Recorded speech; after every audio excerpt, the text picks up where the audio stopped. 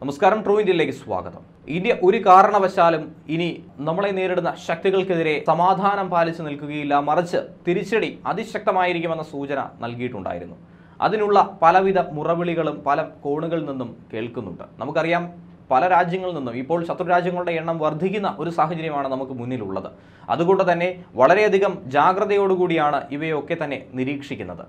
അതിൽ ഒരു കൃത്യമായ നിലപാട് അല്ലെങ്കിൽ നമ്മുടെ വിദേശ നയം എന്താണ് എന്നുള്ളത് വ്യക്തമാക്കി എസ് ജയശങ്കർ കൂടി അദ്ദേഹം കൂടി രംഗത്തെത്തിയ വാർത്തയാണ് ലഭിക്കുന്നത്. ആഗോളതലത്തിലെ പലവിധ രാജ്യങ്ങൾ തമ്മിലുള്ള പോരും അതുപോലെ തന്നെ സഖ്യവും ഒക്കെ തന്നെ ഇന്ത്യയെ ഒരു കാരണവശാലും ബാധിക്കാൻ പോണില്ല എന്നും അതിനെതിരെ അതിശക്തമായി നിലകൊള്ളുമെന്നുമാണ് അദ്ദേഹം വ്യക്തമാക്കിയിട്ടുള്ളത്. വിദേശകാര്യമന്ത്രിയുടെ ഈ പ്രസ്താവന തന്നെ ഇന്ത്യൻ ജനതയ്ക്ക് വളരെയധികം ആത്മവിശ്വാസം വർദ്ധിപ്പിക്കുന്നുണ്ട്. അതിർത്തിയിൽ പോയി എന്ത് സംഭവിക്കുമെന്ന് നോക്കിയിരിക്കുന്ന ഒരു രാജ്യമല്ല ഇന്ത്യ. അത്തരത്തിൽ അധപതിക്കാനായി ഇന്ത്യയ്ക്ക് ഇനി സാധിക്കില്ല.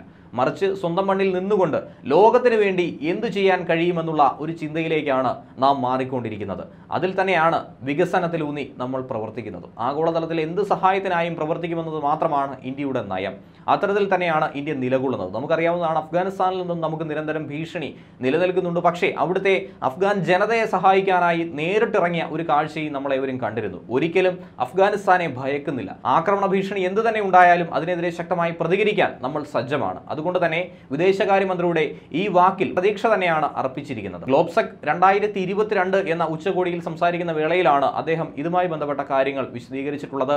അതിർത്തിയിൽ പോയി ഇരിക്കുക എന്ന നയത്തോട് ഒരു കാരണവശാലും തങ്ങൾ യോജിക്കുന്നില്ല. ഞങ്ങൾ ഇരിക്കുന്നത് സ്വന്തം മൈതാനത്ത് തന്നെയാണ്. ആഗോളതലത്തിൽ ലോകത്തെ ഇന്ത്യ നയിക്കുമെന്ന കാര്യത്തിൽ ഒരു സംശയവുമില്ല. ആ നിലയിൽ ഇന്ത്യ മുന്നേറിക്കൊണ്ടിരിക്കുമ്പോൾ ഇന്ത്യയുടെ നിലപാട് എന്തായിരിക്കുമെന്ന ചോദ്യത്തിനാണ് ഇപ്പോൾ അദ്ദേഹം മറുപടി നൽകിയിരിക്കുന്നത്. അതും കെറു കൃത്യമായി എന്തിനേറെ പറയുന്നു?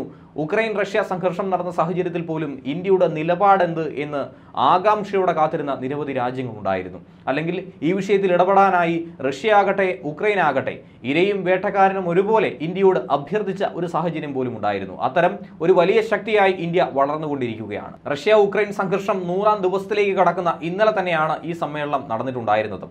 റഷ്യ ഉക്രൈൻ യുദ്ധത്തിൽ ഇന്ത്യയുടെ നയത്തെ വിശദീകരിച്ച ജയശങ്കർ ആകട്ടെ ലോകം നേരിടുന്ന നിരവധി ഗുരുതരമായ പ്രശ്നങ്ങളെക്കുറിച്ച് ചൂണ്ടിക്കാട്ടിയിട്ടുണ്ട്. ഇവയൊന്നും തന്നെ ആരും ഗൗനിക്കുന്നില്ല എന്നുകൂടി എടുത്തു പറഞ്ഞിട്ടുണ്ട്.